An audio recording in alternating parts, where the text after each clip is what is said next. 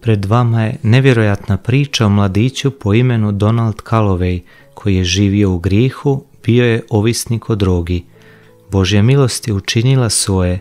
U ruke mu je došla knjiga o Međugorju i od tada se njegov život preokrenuo. Postaje katolik i prepoznaje Boži poziv u sebi da postane svećenik. Poznati američki svećenik i promicatelj pobožnosti djevici Mariji i Svetom Josipu, pater Donald Calloway, svjedočuje o svom obraćenju i to je dramatično uznemirilo duhovni svijet. Naime, prije nego je postao katolik, ovaj svećenik bio je ovisnik o teškim drogama, a vjera u Boga bila mu je apsolutna nepoznanica. Pokušao je s odvikavanjima, ali nije išlo i bio je toliko loše da je po prljavim, zapuštenim stanovima puzao po podu, ne bi li našao neke komadiće za ušmrkati.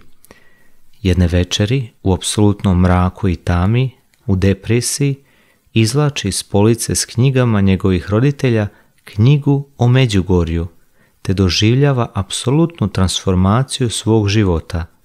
Proveo čitavu noć čitajući tu knjigu sve do ranih jutarnjih sati. Za to vrijeme unutarnje osjećanje u njegovoj duši od nervoze se i nemira koje je do tad živo osjećao preobrazilo u duboku radost i mir koji je posve isijavao i obuzimao njegov duh. Međugorske poruke su ga dotakle na posve novoj, višoj razini. Bio je to povratak molitvi, miru, postu i pomirenju s Bogom i potreba za obraćenjem. Po prvi puta nešto je bilo tu pred njim i nudilo mu je nadu u nasilnoj prošlosti, u životu griha i očaja. Djevica Marija je govorila stvari koje su bile tako jasne i koje su me obuzimale da sam bio toliko ganut i proživljavao sam sve emocije na mnogo dublji način. To su bili osjećaji koje nisam iskusio od svog djetinstva, kad sam bio dječačić koji je silno volio svoju mamu i želio je usrećiti. A sada je djevica Marija bila tu i govorila mi kako je ona moja majka, kako je ona majka svih zalutalih i pozivala nas da se vratimo Bogu, Isusu. Jasno je rekla kako ona nije Bog, nego nas je sve upućivala na svoga sina, govoreći nam kako je on Mesija, spasite svijeta. Počeo sam se zaljubljivati u tu majku, u tu ženu. Tu je prelomilo.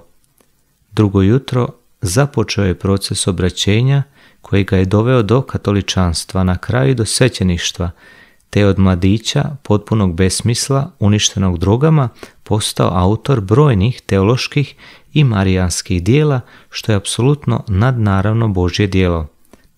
U nedavnom intervju otac Kalo je ispričao kako je demon htio spriječiti njegovo obraćenje na katoličanstvo, a ujedno je posvjedočio i snagu imena Marija. Otac Kalo je objašnjava svoj proces obraćenja dok je napustio svoje stare običaje.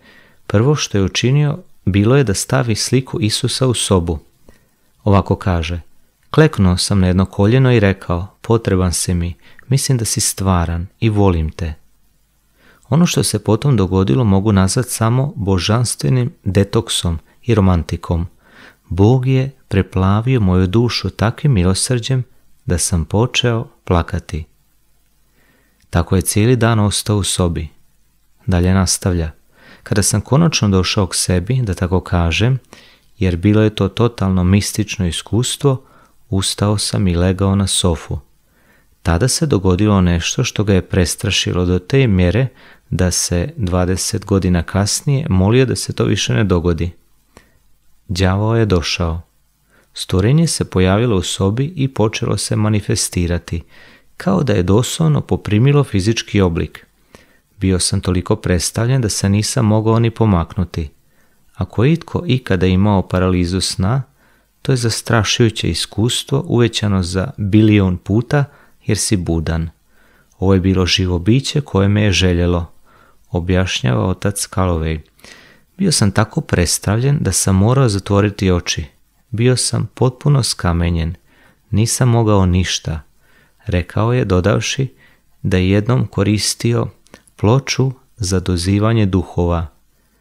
Mislim da je đavao mislio da mu pripadam zbog toga, izjavio je. Prema njegovom kazivanju učinio je jedino što je znao učiniti. Iz duše sam zavapio, nečujno, ali u duši. Marija. I znaš li što se dogodilo? Uništen je. Demon je bio potpuno izbrisan tim imenom i doživio sam najnevjerojatniji mir koji nisam doživio do danas, a vjerojatno ni neću s ove strane vječnosti. Ali njegovo mistično iskustvo nije tu završilo.